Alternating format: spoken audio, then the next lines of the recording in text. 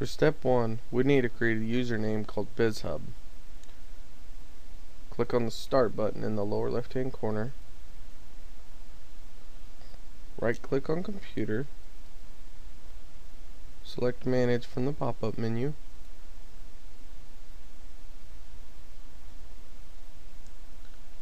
Now click on the plus to the left of Local Users and Groups to expand it.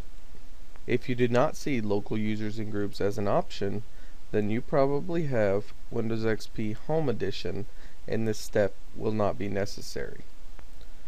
Right click on Users, select New User.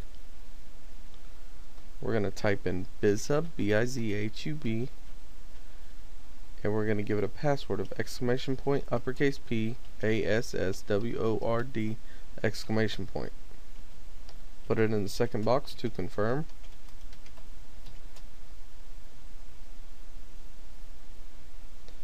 Now uncheck the first box, user must change password. Check the two middle boxes, user cannot change password and password never expires. Now click create. Select users. Right click on BizHub and go to properties. Click on the member of tab, select users and click remove. Now click OK and close that window. That's the end of step one.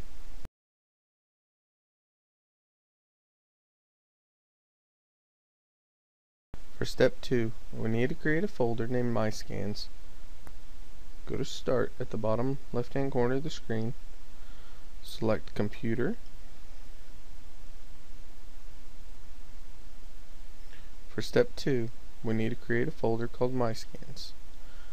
If you do not have my computer on the desktop, go to the Start menu, select My Computer, double click Local Disk C, right click in the white space, highlight New, select Folder, and give that folder a name of MyScans. I'm doing it in all lowercase. Doesn't matter if it's lowercase or uppercase, just make sure that you are consistent. Now right click on that folder and go to properties. Now click on the sharing tab at the top.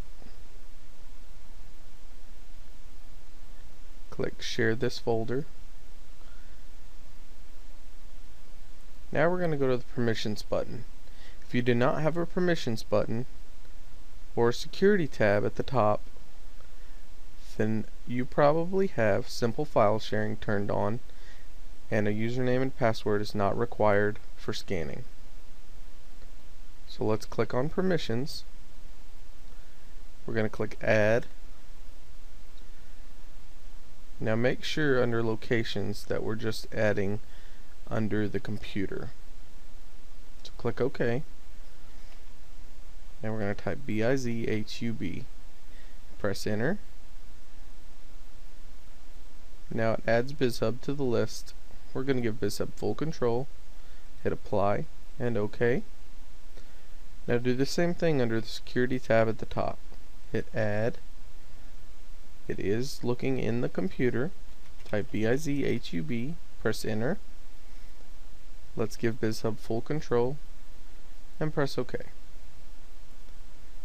The last step we want to do is right click on the folder, highlight send to, and click Desktop Create Shortcut.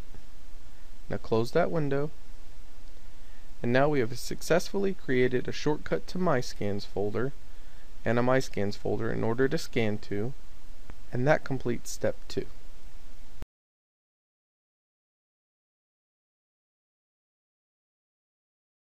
For step 3 we need to create a one touch on the copier in order to scan to the folder that we just created. The first thing we need to do is get the IP address of the copier. So go down to your start button, go to printers and faxes. This might be a little different on Windows Vista or Windows 7, but it's pretty much the same idea. Um, you might have to go to control panel and then go to printers. And once you find your printers, we're just going to right click and go to properties. It'll be called um, printer properties in Windows Vista and 7.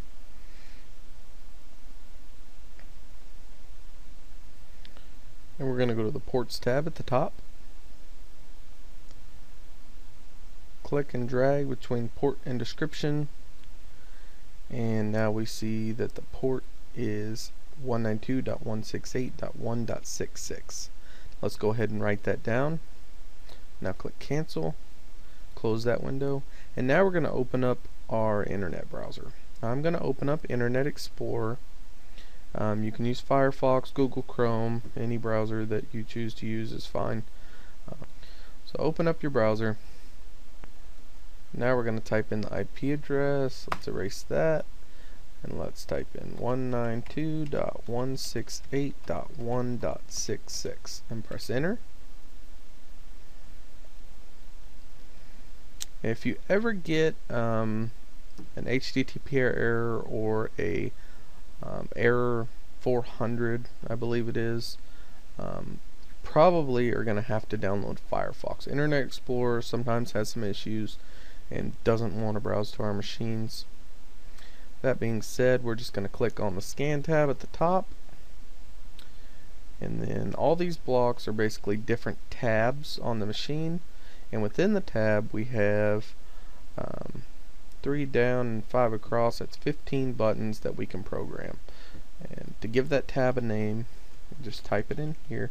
We can type scan, hit apply. You see that gets transferred up here. And then we're going to program the first button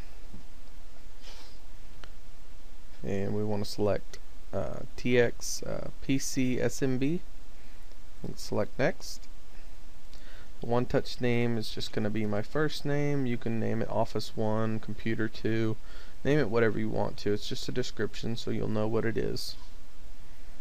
Um, we could use the IP address if we had static IP the best way to do this is by host name. And to get the host name of your computer we're going to go to start right click on my computer and go to properties. And then go to the computer name tab at the top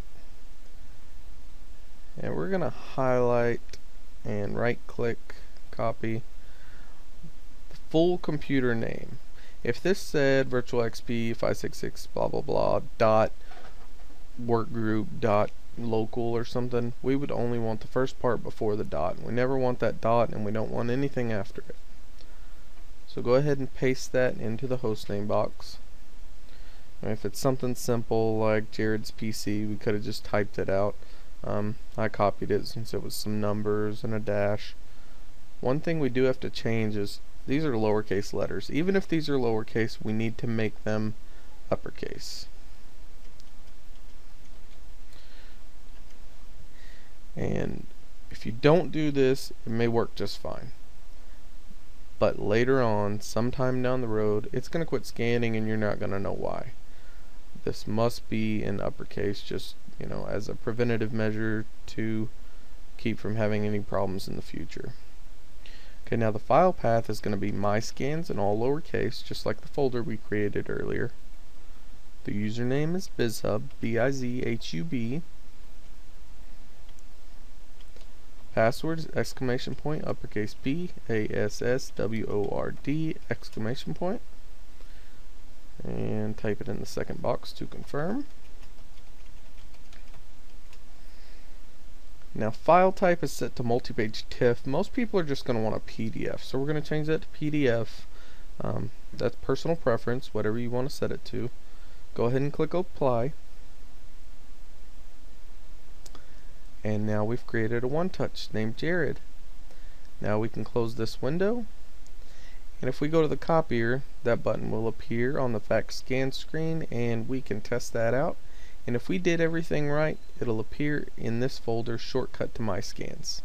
And that's the end of step three